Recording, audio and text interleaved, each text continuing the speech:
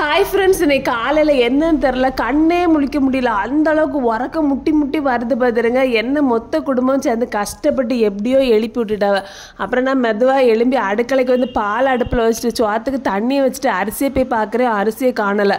காணலை இல்லை. அரிசி தீந்து போச்சு பார்த்துருங்க நான் கவனிக்கவே இல்லை. பேத்த வாக்கில் அப்படியே இருந்திருக்கேன். அதுக்கப்புறம் என்ன செய்ய? அங்கே தான் பால் கொதிச்சுட்டேன். படப்படான்னு போய் காப்பியை போட்டு எல்லாருக்கும் கொடுத்துட்டு நானும் கமுக்கமாக ஒரு இடத்துல இருந்து காப்பி குடிச்சிட்டேன் பார்த்துருங்க அதுக்கப்புறம் இவங்கள பாவம் போல் கொஞ்ச நேரமாக பார்த்துட்டே இருந்தேன். அப்போ இவங்க சொன்னாங்க உன் மொழியே சரியில்லை. ஏன் நீ இப்படி ஒரு சைஸாக பார்த்துட்டே இருக்க? அப்படின்னு சொல்லி கேட்டாங்களா. அப்போ நான் சொன்னேன் இப்படி அரிசி இல்லை பார்த்துருங்க. பிள்ளைகளுக்கு ஸ்கூலுக்கு சாப்பாடு கொடுத்துடம்ல இப்போ என்ன செய்ய? அப்படி சொல்லி பாம்போல் அப்படியே பார்த்துட்டே இருந்தேன்னா இவங்க சொன்னாங்க சரி ஏதாவது டிஃபனாவது இருக்கான்னு கேட்டாங்க. நான் சொன்னேன் சோறே பிள்ளைகள் சாப்பிட்டு போயிருமா? அப்போ நம்மளும் அதே வச்சு சமாளிச்சிடலான்னு நான் வேறு டிஃபனுக்கு ஒன்றும் போடலை பார்த்துருங்க அப்படின்னு சொன்னோன்னே சரி இந்த கேரியர் எடுத்து தான் ஏதாவது போய் வாங்கிட்டு வரேன்னு சொல்லிட்டு கடையில் போய் ஆப்பம் முட்டை கொடி சாம்பார் சட்னி எல்லாம் வாங்கிட்டு வந்தாங்க பார்த்துருங்க இனி இடப்பட்ட நேரம் ஒரு பன்னெண்டு மணிக்குள்ளே சமையல்லாம் முடித்து பிள்ளைகளுக்கு ஸ்கூலில் கொண்டு கொடுக்கணும்.